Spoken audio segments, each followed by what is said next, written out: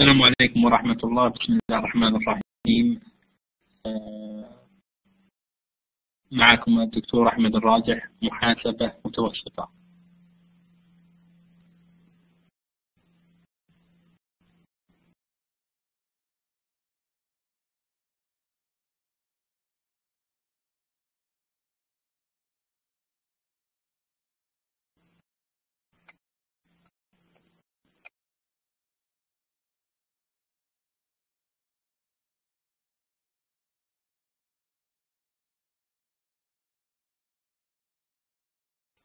هل في أسئلة قبل ما نبدأ المحاضرة؟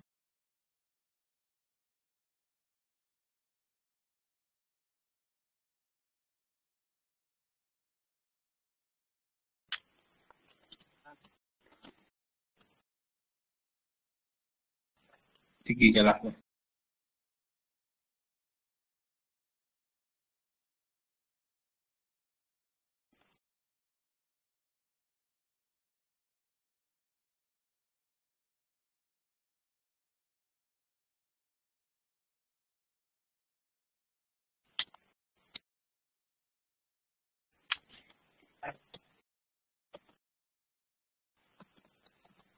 هل صوتي واضح؟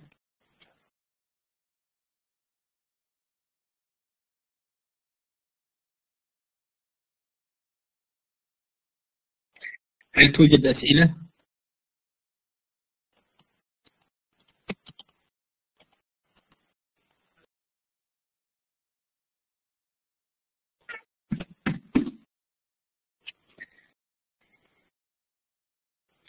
بالنسبة للملخص آه، في مذكرة موجودة أنا وضعتها في آه، المنتدى. يا ريت لو تقرؤون المذكرة كلها بالكامل. لا تنتظر أني أشرحها صفحة صفحة.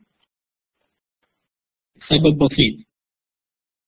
لأن الوقت لا يكفي لشرحها صفحة صفحة.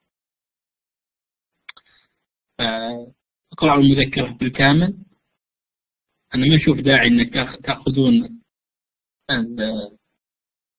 الملفات حق ال PowerPoint وتعيدون كتابتها.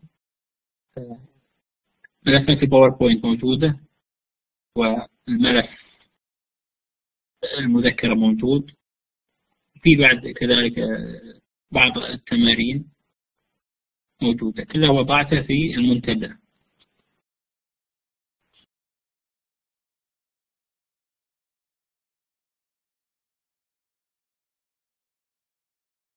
المنتدى في منتدى أنا أنشأت منتدى. دقيقة خليني أتأكد.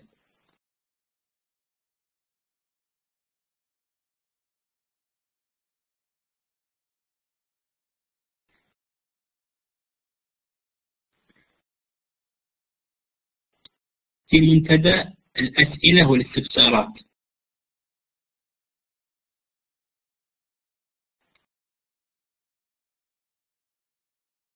دقيقة لحظة. الظاهر إني ما وضعته. أضع الآن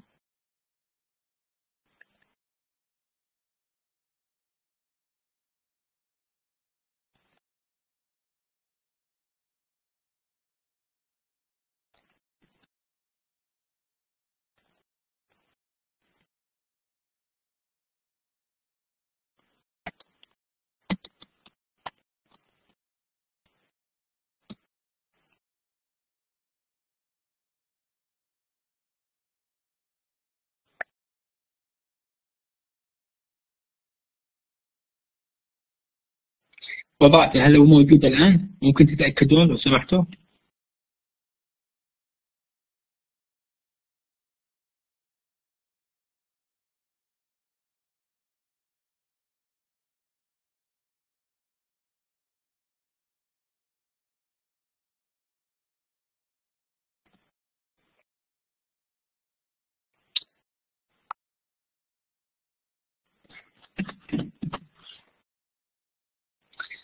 فيا ريت أول حاجة تسوونها أن تقرؤون المذكرة كلها وتقرر من الآن.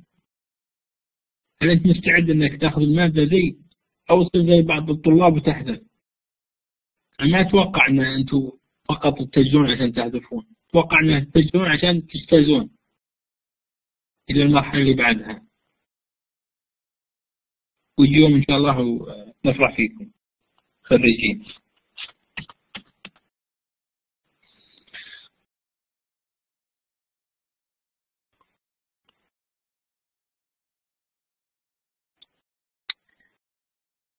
ذكروني كل مرة نستعرض أسئلة من أسئلة الاختبارات من باب الاسترشاد. هل في سؤال الآن؟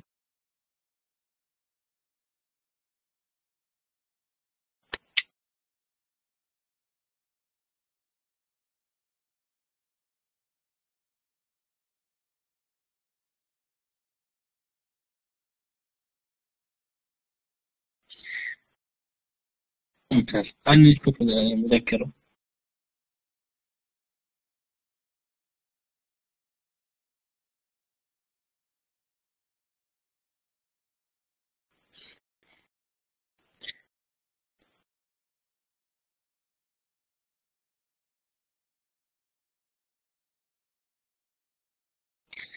المذكرة موجودة على شكل ملف PDF ونفسها تم تفريغها في ملفات PowerPoint فبنستعرض إحنا؟ يعني قدر الإمكان المذكرة قبل ما نبدأ هل تستطيعون قراءة المذكرة معي ولا أكبر الصفحة شوي؟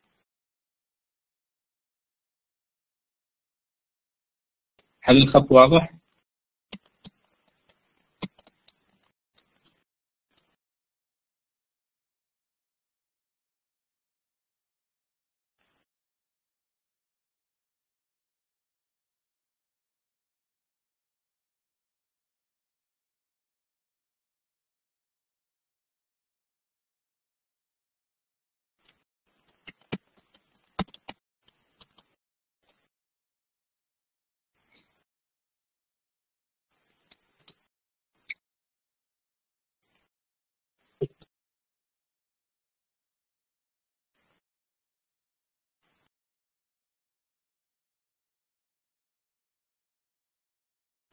زين بسم الله.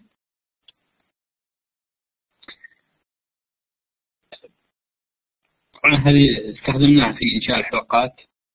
القسم الأول يتكلم عن محاسبة عن الالتزامات يتكلم عن التزامات قصيرة الأجل طبيعة الالتزامات هذه والتزامات قصيرة الأجل محددة القيمة يتكلم عن حسابات الدائمين ثم الحلقة الثانية عن أوراق الدافع. يتكلم عن التي تنشأ عن عملية تجارية والتي تنشأ عن قروض والجزء الجاري من التزامات طويلة الأجل. فإذا استطعنا نغطي حلقتين في كل لقاء لقاء معاكم بنغطي المنهج ولكن بتكون تغطية سريعة الأفضل أن أنتم تقرؤون قبل ما نبدأ لكي تسألون ونجاوب على الأسئلة ونستفيد من اللقاء. اللقاء وضع فقط للإجابة عن استفساراتكم.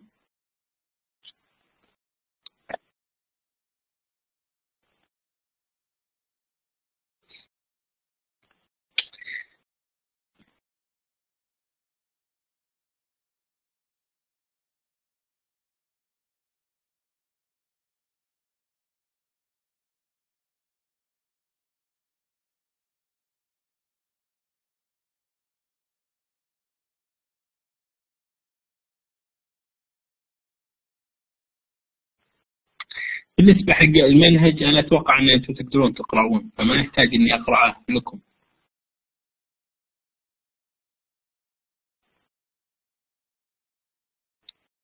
ففي البداية يتكلم عن مقدمة آه، بسيطة. فمثلا تتمثل المشاكل المحاسبية المتعلقة بالالتزامات في اثنتين المشكلة الأولى هي التأكد أن جميع الأرصدة الدائنة التي تظهر في الميزانية العمومية بخلاف حقوق الملكية تعبر عن التزامات حقيقية على المنشأة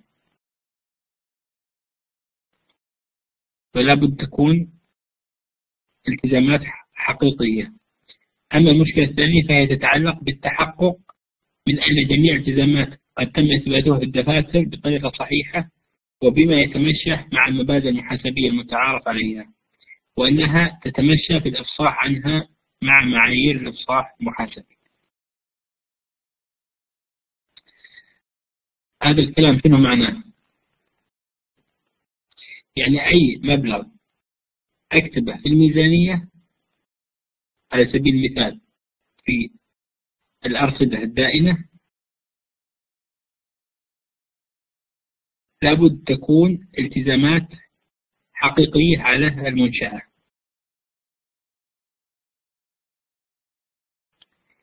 يعني مثلا. خلينا نتكلم مثلا عن جانب الأصول. فإذا أنا شريت سيارة السيارة هذه للاستخدام. بستخدم السيارة لمدة عشر سنوات. فلا بد أني أضع السيارة في الميزانية جانب الأصول. وقيمة السيارة على حسب القسط الإهلاك المتفق عليه. واللي نصت عليه الأنظمة.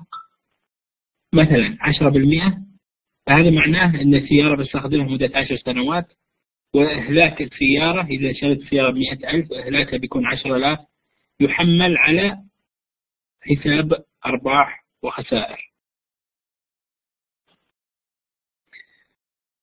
واضح؟ فالأصل مثل السيارة لابد أني أضعه في الميزانية ويخضع للإهلاك. إذا أخذت الأصل ووضعته كله بالكامل في حساب أربع خسائر يعني حساب آه، أربع خسائر يتحمل مبلغ مئة ألف ريال على أنها مصاريف إيرادية وليست مصروفات رأسمالية فهذا يبين يعني طريقة غير صحيحة لعرض الميزانية. هنا مكتوب بطريقة صحيحة. فلا بد الأصول تكتب في الميزانية وتخضع للإهلاك. هذا أصل رأس مالي. يعني كأنه رأس مالي يستخدم لأكثر من فترة. بينما المصروف الإيرادي هو اللي يتم صرفه لتحقيق الإيراد. ويتم وضع في حساب أربع خسائر أو قائمة الدخل. فالفصل هذا يتكلم عن المشاكل المحاسبية في جانب الالتزامات الجانب الأيسر في الميزانية. فبنتكلم على أن الالتزامات هذه حقيقية والنقطة الثانية أنها سجلت بطريقة صحيحة. الفصل هذا فقط يركز على جانب الالتزامات.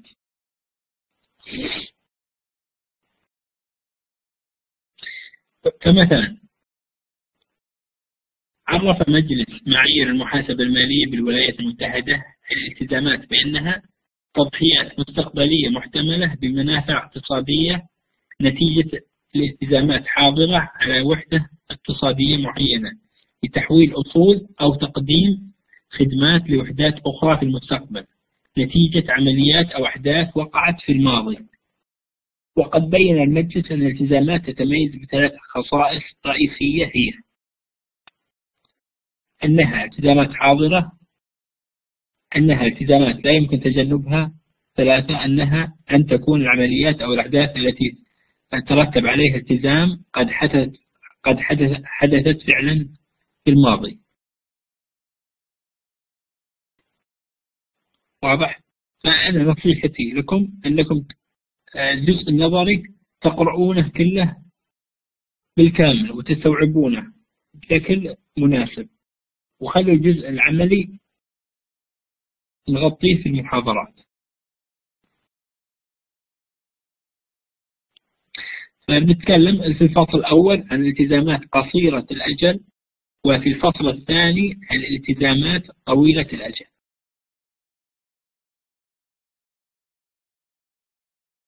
نشوف إذا في أسئلة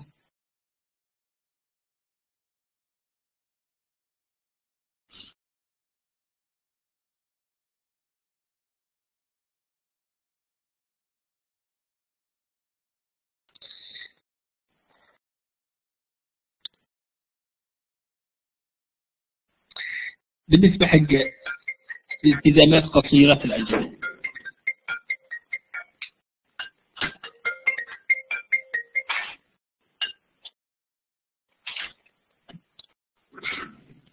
التزامات قصيرة الأجل هي الالتزامات التي مطلوب الوفاء بها أو سدادها في خلال فترة لا تزيد عن سنة. أنا كان بودي أني أعرف خلفيتكم المحاسبية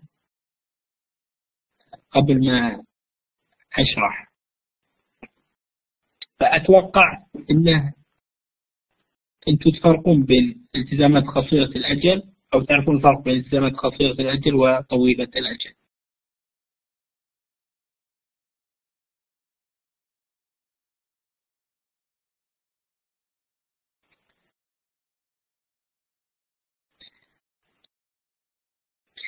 في بعض المشروعات ممكن تمتد الفترة إلى ما يزيد عن السنة كما في بعض المشروعات الصناعية وشركات المقاولات.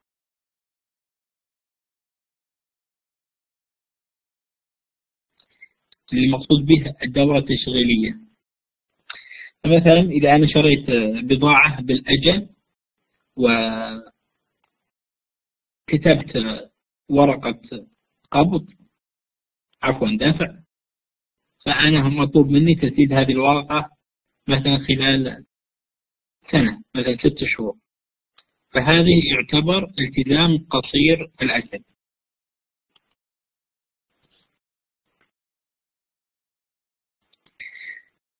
بالنسبة حق الأصول المتداولة بأنها تلك الأصول التي يمكن تحويلها إلى نقدية أو تستنفد خلال دورة تشغيلية أو سنة واحدة أيهما أطول كما تعرف الالتزامات. قصيرة الأجل بأنها تلك الالتزامات التي يتوقع بطريقة معقولة أن يتطلب الوفاء بها استخدام الموارد الاقتصادية التي تم تصنيفها كأصول متداولة أو إعادة إنشاء التزام آخر قصير الأجل. هذا إيش معنى؟ هذا معناه أن الالتزامات قصيرة الأجل ممكن أسددها عن طريق الأصول المتداولة. التزام قصير الأجل مثل أوراق الدفع. أصول متداولة مثل الصندوق البنك أوراق مالية أوراق قبض كل هذه أصول قصيرة الأجل أو نسميها أصول متداولة.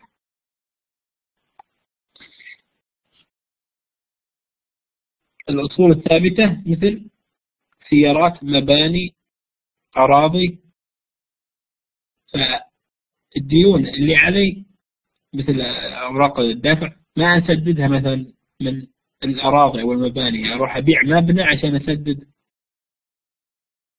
قرض.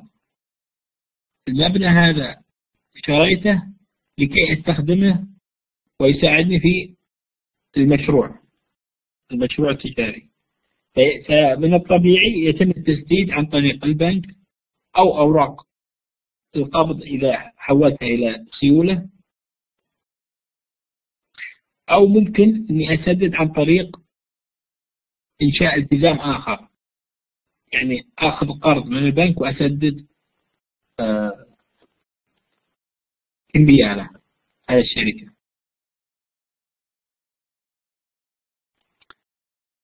في في ثلاث أنواع من الالتزامات بالنسبة حق قصيرة الأجل. التزامات محددة القيمة التزامات.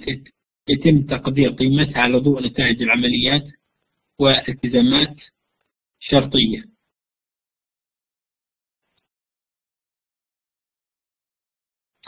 التزامات قصيرة الأجل محددة القيمة.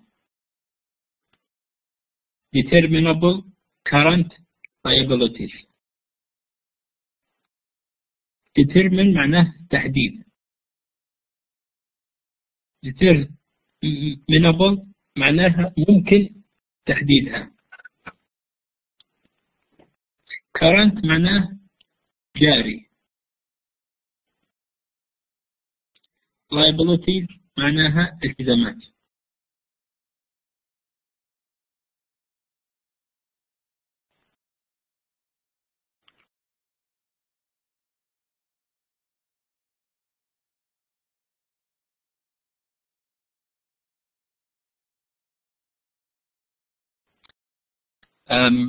يعني بصفة عامة.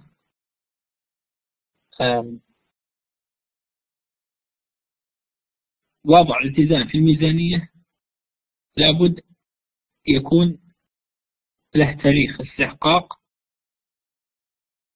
في مبلغ معلوم الواجب سداده أو يمكن تقديرهما بطريقة معقولة. آه، من المعروف أن معظم الالتزامات تنشأ عن اتفاقيات تعاقدية يحدد فيها تاريخ الاستحقاق. أمثلة وتعتبر حسابات الدائنين أوراق الدافع توزيعات الأرباح المستحقة والمصروفات المستحقة التأمينات المحصلة مقدما من العملاء. أمثلة التزامات ذات القيمة المحددة. حسابات الدائنين هم أشخاص أنا اشتريت منهم فهم دائنين المدينين هم أشخاص اشتروا مني أنا بعت لهم بضاعة فهم مدينين لي ما سددوا القيمة. أوراق الدافع هم أشخاص أنا اشتريت منهم بضاعة وما سددت القيمة فأخذوا عليك انبيالات أو سند إذني تعهد بالسداد هذه تسمى أوراق دفع أنا أدفعها. بالنسبة لي أوراق دفع بالنسبة للشخص اللي أخذ الورقة هذه تعتبر أوراق قبض. يقبض. أنا أدفع وهو يقبض. فهذه تعتبر التزام محدد القيمة. الآن نأتي للتفاصيل حق حسابات الدهني فهي عبارة عن اقتناء سلعة أو خدمة.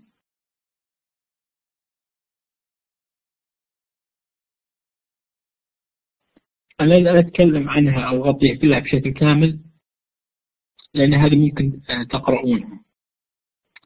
إذا في شيء غير واضح قولوا لي عنه وأنا أبين لكم.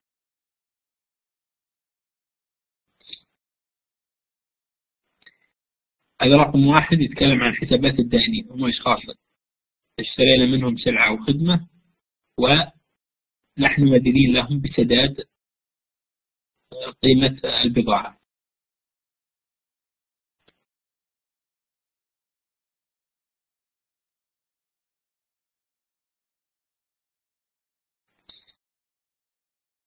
رقم اثنين أوراق الدافع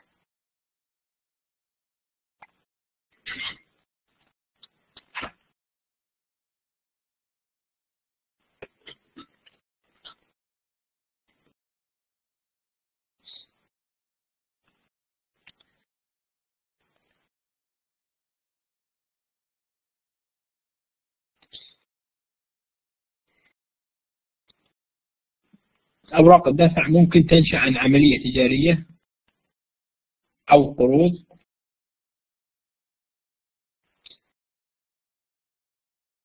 أو جزء مستحق خلال الفترة الجارية من أوراق دفع طويلة الأجل.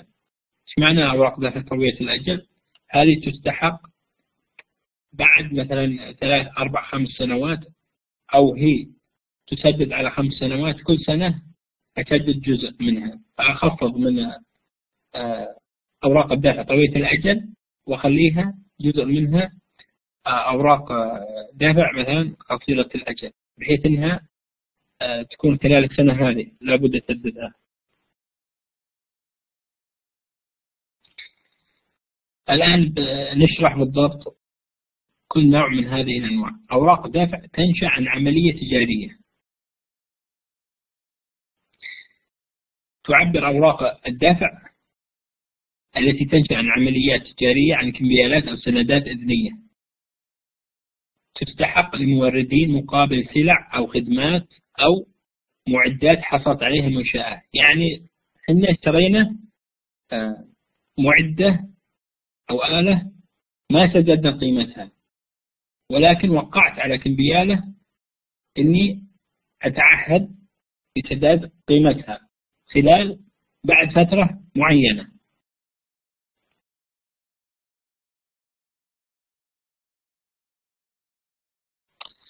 ممكن يكتب كذلك سعر فائدة.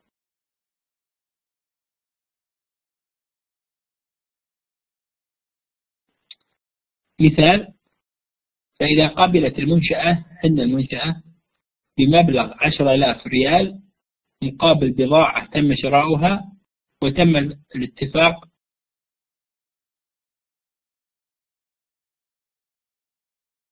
على سداد ستة بالمئة سنويا.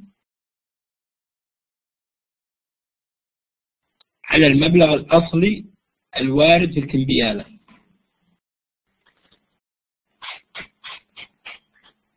على أن تسدد الفائدة مع المبلغ الأصلي بعد ثلاث شهور من تاريخ الشراء فإن القيود اليومية اللازمة تكون كما يلي.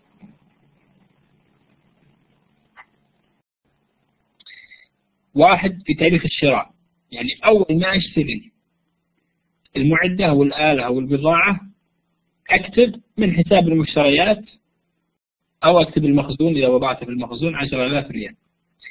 إذا اشتريت كاش أكتب إلى حساب النقدية أو إلى حساب الصندوق.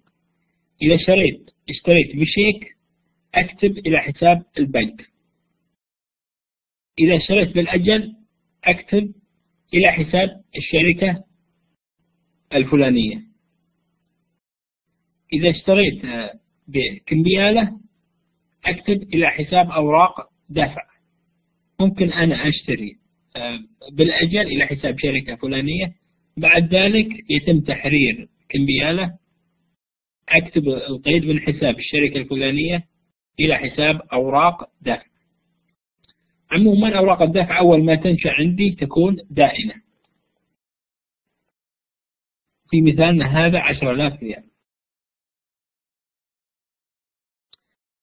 في تاريخ السداد يعني بعد مضي كم شهر خلينا نرجع السؤال.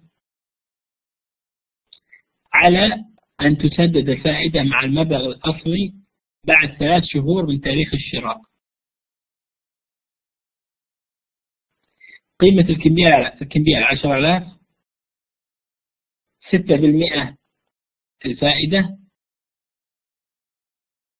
ضرب ثلاثة تقسيم 12 اللي هي بعد ثلاث شهور. الناتج 150 ريال. هذه هي الفائدة. فأوراق الدفع. أول ما نشأت عندي دائنة. بعد ثلاث شهور بسدد أوراق الدفع فأضعها مدينة. وعندي الجزء المدين الآخر اللي هو فائدة مدينة.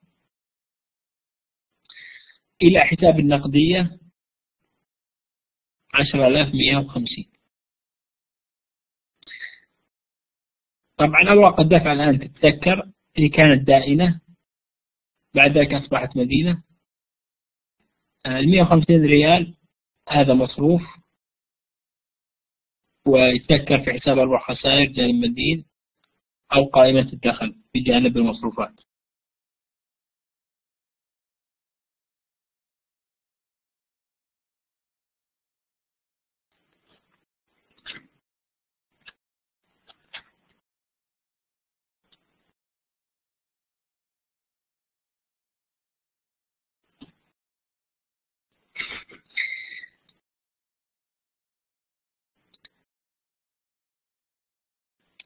أوراق الدفع التي تنشأ عن قروض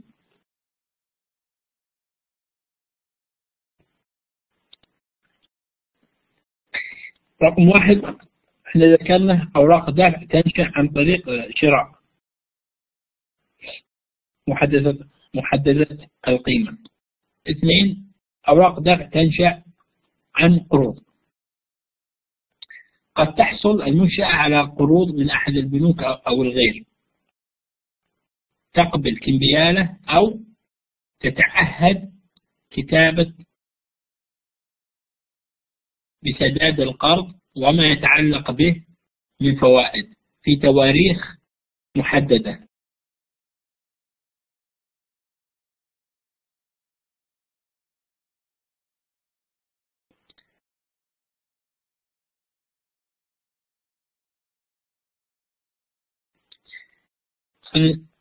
نأخذ مثال. حصلت منشأة الأمل اللي المنشأة اللي إحنا شغالين فيها في واحد واحد ألف وأربعمائة وخمسة عشر على قرض قيمته عشرين ألف ريال. قبلت كمبيالة تستحق السداد بعد سنتين قيمتها الإسمية أربعة وعشرين ألف ومئتين. في هذه الحالة يعبر أو يعتبر المبلغ الذي الذي تم الحصول عليه وقدره عشرين ألف ريال عن القيمة الحالية للورقة. الحالية معناه الآن. ويمكن احتساب سعر الفائدة الضمني باستخدام جداول القيمة الحالية على النحو التالي.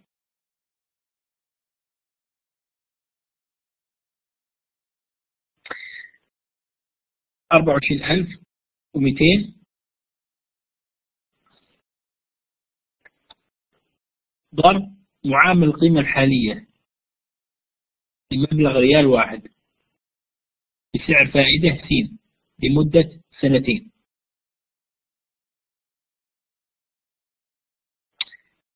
يساوي عشرين ألف ريال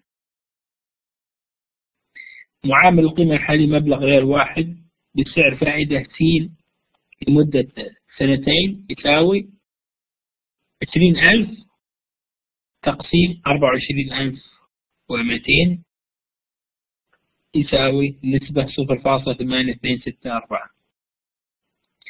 وبالبحث في جدول القيمة الحالية جدول القيمة الحالية العادة بتشوفونها في نهاية الكتاب. وهم لهم جداول خاصة آه، متوفرة. لمبلغ ريال واحد عن هذا المعامل في الصف الثاني أي المقابل بسنتين. نجد أن سعر الفائدة الضمني يكون عشرة بالمئة.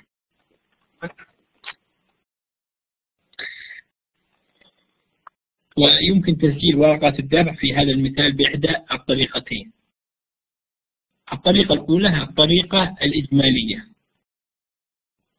يتم فيها إثبات ورقة الدفع بإجمالي قيمتها اللي هي كم؟ 24200 على أن يثبت الفرق بين بين القيمة الإسمية الورقة وقيمتها الحالية في حساب مستقل باسم خصم أوراق الدفع. وهو حساب عكسي لحساب أوراق الدفع ويظهر في الميزانية العمومية مخصوما من منه في جانب الالتزامات وطبقا لهذه الطريقة يكون القيد اللازم لإثبات الحصول على القرض في واحد واحد ألف وأربعمائة وخمسة عشر يعني أول ما آخذ القرض أخذت القرض وضعته في آه، الصندوق أو النقدية أكتب من مذكورين حساب النقدية عشرين ألف ريال. حساب خصم أوراق الدفع هذا الحساب المستقل 4200 إلى حساب أوراق الدفع فهذه ال 24200 هي القيمة الإجمالية أو تحسب بالطريقة الإجمالية. فيكون عندي حساب عكسي اللي هو 4200 حساب خصم أوراق الدفع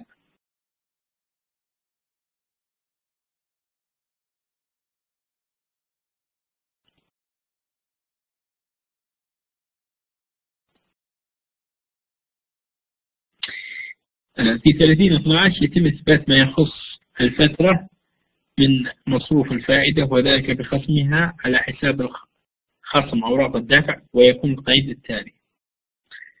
من حساب فوائد مدينة إلى حساب خصم أوراق الدعم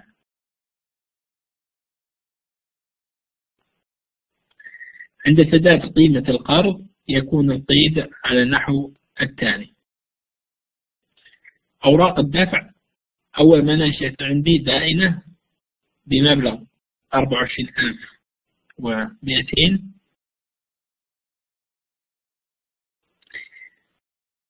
وسداد أوراق الدفع مبلغ أربعة وعشرين ألف ومئتين.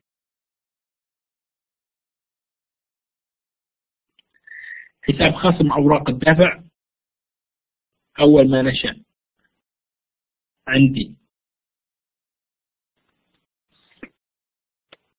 آه، بالجانب المدين.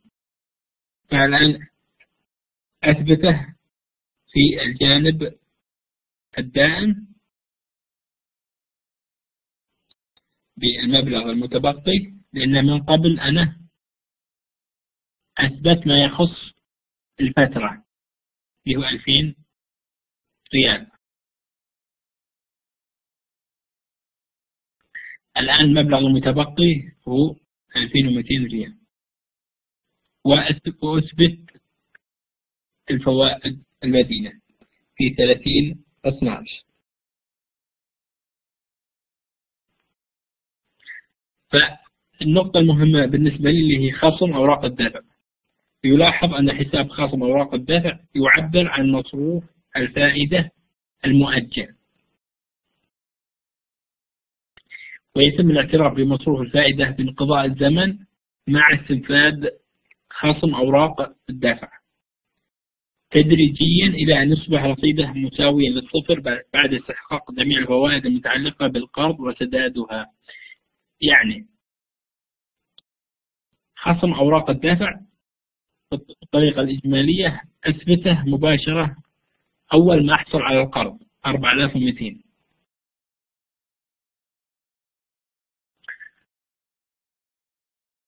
30 12 وهنا في واحد واحد واحد ألف أربعمية وخمسة عشر. في نهاية السنة أثبت ما يخص الفترة حساب خصم أوراق الدفع أول ما نشأ عندي مدينة أثبت أداء وحساب الفوائد المدينة اللي بالتكل بحساب أرباح خسائر كذلك أثبت رجال المدينة. فكل سنة لابد أكتب القيد من حساب فوائد مدينة إلى حساب خصم أوراق الدفع. كل فترة.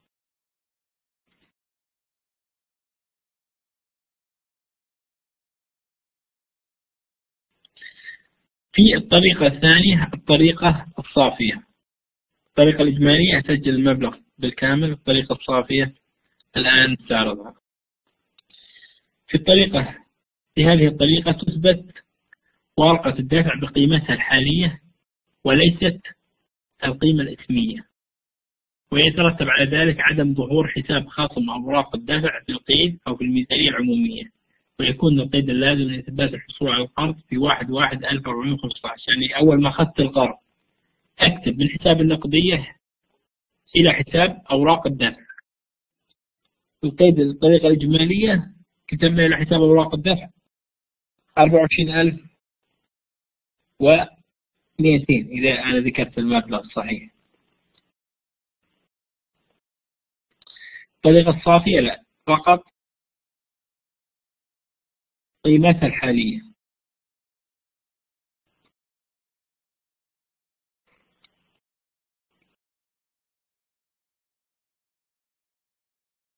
عموما هاتين الطريقتين تؤديان في النهاية لنفس النتيجة.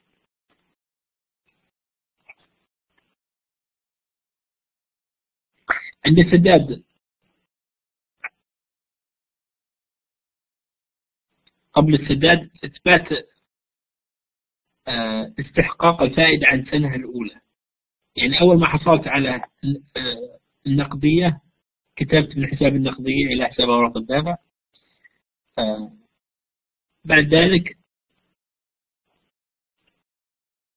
في نهاية السنة أكتب استحقاق الفائدة.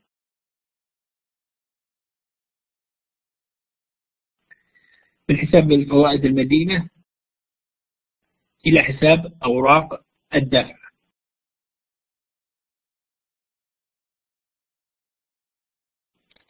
وعند السداد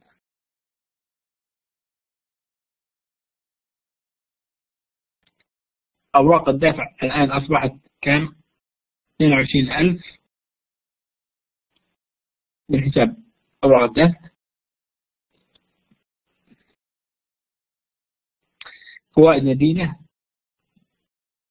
2200 إلى حساب النقدية 24000 في كلا الحالتين الطريقة الإجمالية والصافية النقدية بتكون 24200 ولكن في الطريقة الإجمالية أنا سجلت أوراق الدافع بمبلغ 24000 آه، مبلغ 20000 و 4200 هي القيد الوسيط.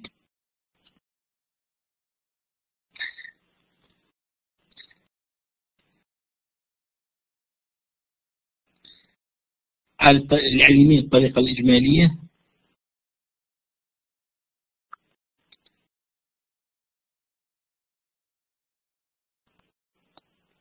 أربعة وعشرين ألف ومئتين ناقص ألفين ومئتين يساوي اثنين وعشرين ألف.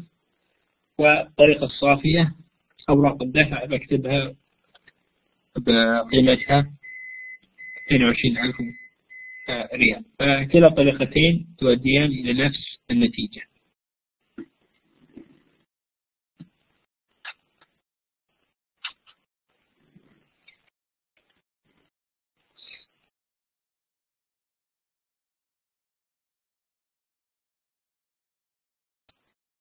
فننتهي آه الآن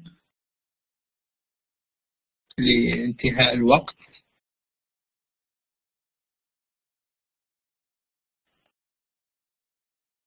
أتمنى في المحاضرة القادمة بإذن الله أنكم تقرؤون المذكرة كلها بالكامل ونتطرق للمواضيع الغير مفهومة. ذكروني المرة القادمة آه، نستعرض آه، أسئلة من أسئلة الاختبارات لكي تتدربون عليها بإذن الله. على ما أعتقد الآن انتهت المحاضرة. السلام عليكم ورحمة الله وبركاته. هل في سؤال؟